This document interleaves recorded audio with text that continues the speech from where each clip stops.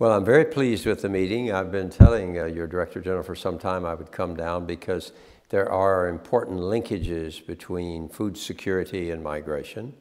We dealt with a whole range of issues related to that. We've agreed on a number of things that we will probably try to do something jointly with, within the context of the G7 to deal with the issue of food security and human mobility.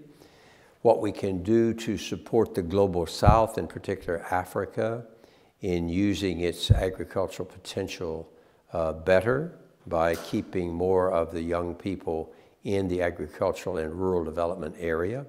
We agreed to update our memorandum of understanding, which is somewhat dated. We need to bring it in line now with the membership of the FAO in the Global Migration Group.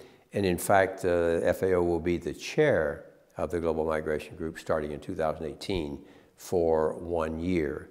We also dealt with the effects of climate change on human mobility and agriculture and how we could work together to try to mitigate and to adapt to the climate changes that are going to cause important movement. So it was a wide-ranging conversation. We also looked at the possibility of doing jointly an editorial, an op-ed for the newspapers at some point in the course of this year.